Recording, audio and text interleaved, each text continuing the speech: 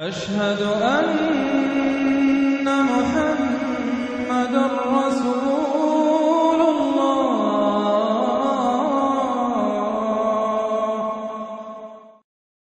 الغاشیہ نام۔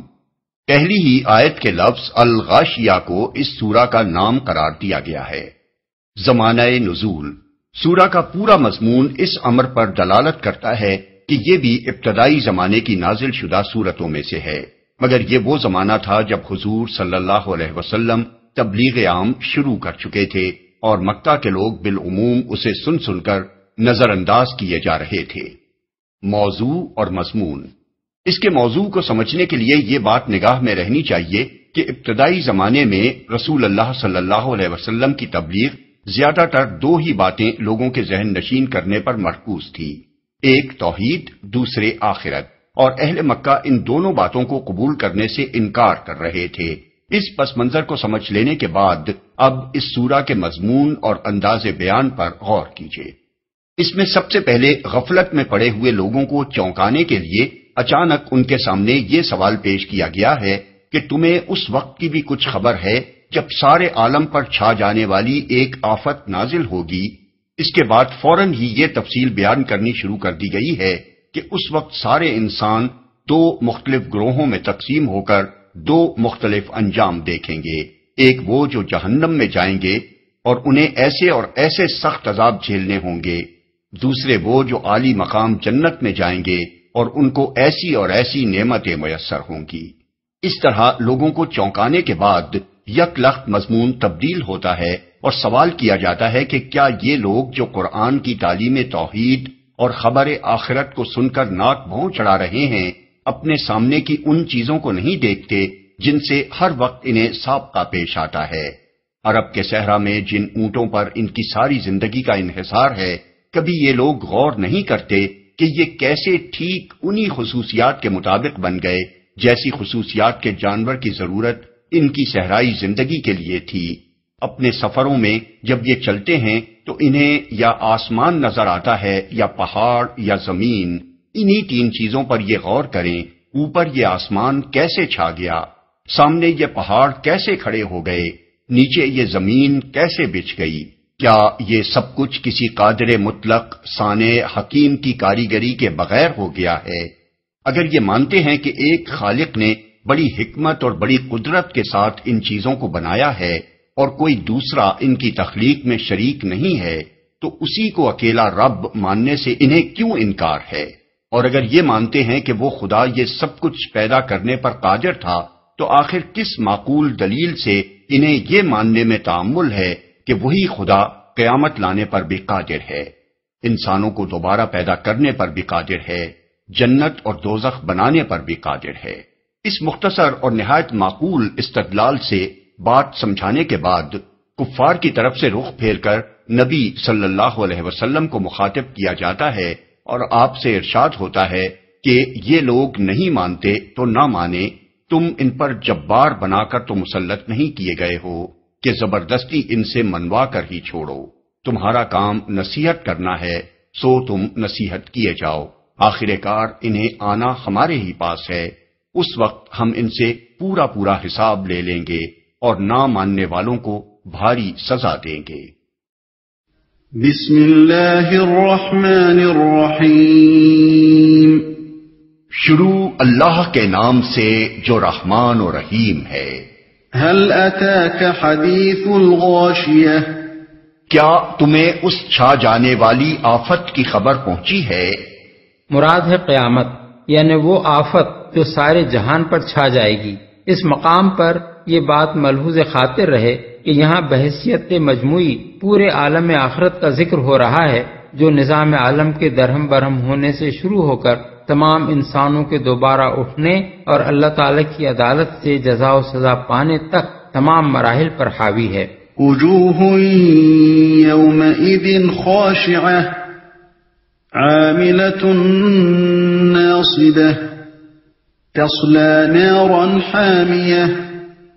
تسقى من عين آنية. ليس لهم طعام إلا من ضريع. لا يسمن ولا يغني من جوع.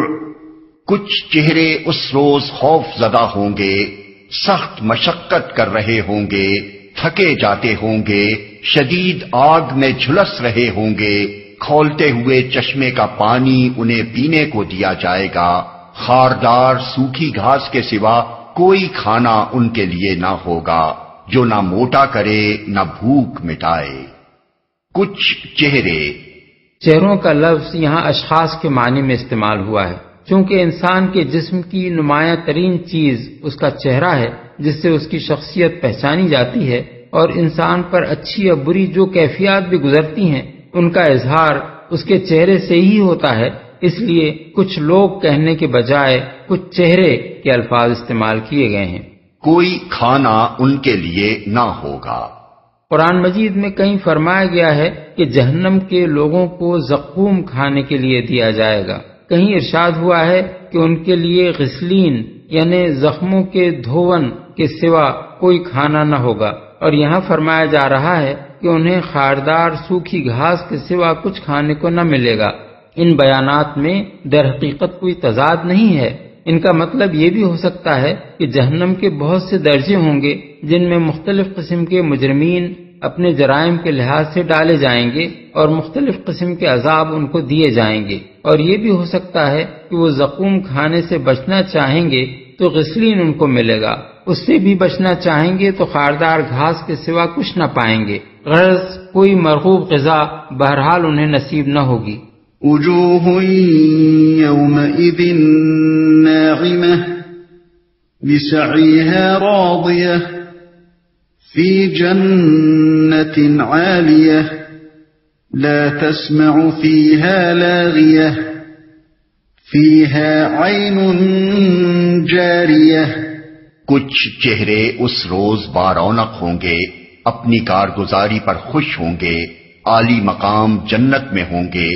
کوئی بےحودہ بات وہاں نہ سنیں گے، اس میں چشمے رواں ہوں گے۔ خوش ہوں گے۔ یعنی دنیا میں جو صحیح اور عمل کر کے وہ آئے ہوں گے، اس کے بہترین نتائج آخرت میں دیکھ کر خوش ہو جائیں گے۔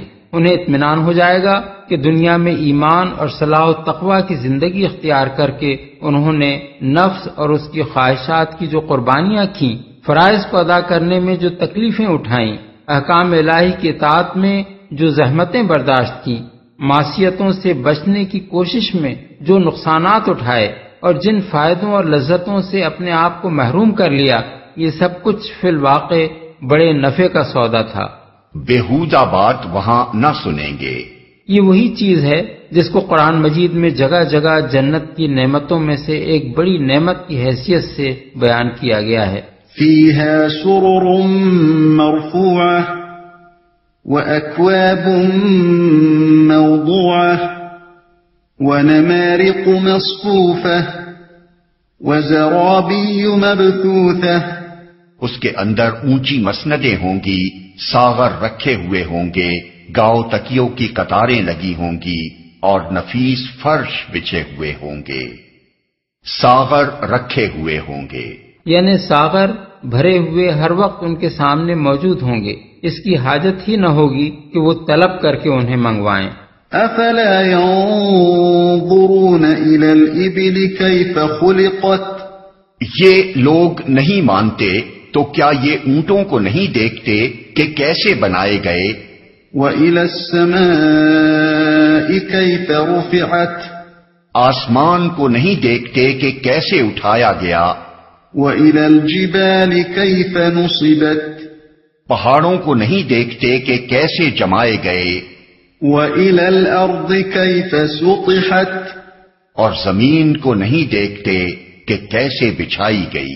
یعنی اگر یہ لوگ آخرت کی یہ باتیں سن کر کہتے ہیں کہ آخر یہ سب کچھ کیسے ہو سکتا ہے، تو کیا خود اپنے گرد و پیش کی دنیا پر نظر ڈال کر انہوں نے کبھی نہ سوچا کہ یہ اونٹ کیسے بن گئے، یہ آسمان کیسے بلند ہو گیا، یہ پہاڑ کیسے قائم ہو گئے، یہ زمین کیسے بچ گئی؟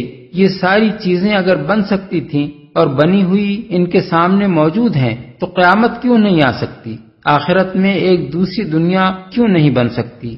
دوزخ اور جنت کیوں نہیں ہو سکتی؟ یہ تو ایک بے عقل اور بے فکر آدمی کا کام ہے کہ دنیا میں آنکھیں کھولتے ہی جن چیزوں کو اس نے موجود پایا، ان کے متعلق تو وہ یہ سمجھ لے کہ ان کا وجود میں آنا تو ممکن ہے کیونکہ یہ وجود میں آئی ہوئی ہیں۔ مگر جو چیزیں اس کے مشاہدے اور تجربے میں ابھی نہیں آئی ہیں، ان کے بارے میں وہ بے تکلف یہ فیصلہ کر دے کہ ان کا ہونا ممکن نہیں ہے۔ اس کے دماغ میں اگر عقل ہے تو اسے سوچنا چاہیے کہ جو کچھ موجود ہے یہ آخر کیسے وجود میں آ گیا؟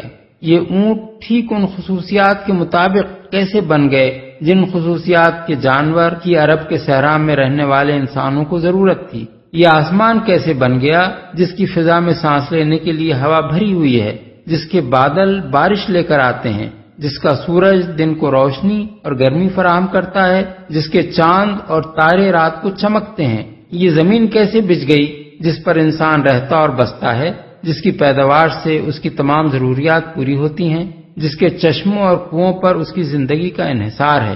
یہ پہاڑ زمین کی سطح پر کیسے ابھر آئے؟ جو رنگ برنگ کی مٹی اور پتھر اور طرح طرح کی معدنیات لیے ہوئے جمے کھڑے ہیں۔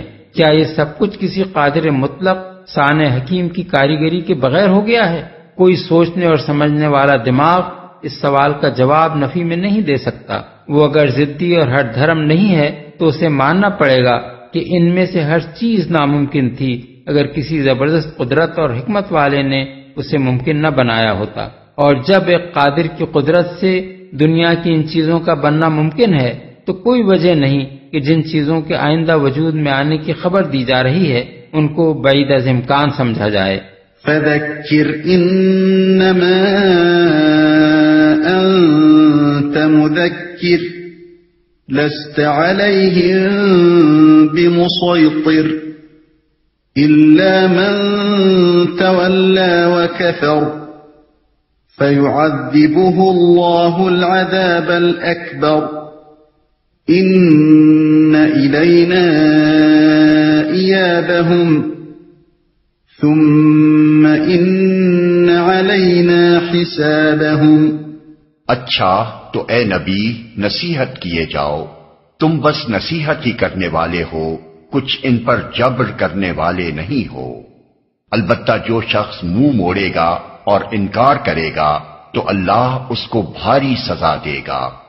ان لوگوں کو پلٹنا ہماری طرف ہی ہے، پھر ان کا حساب لینا ہمارے ہی ذمے ہے۔ جبر کرنے والے نہیں ہو۔ یعنی اگر معقول دلیل سے کوئی شخص بات نہیں مانتا تو نہ مانے۔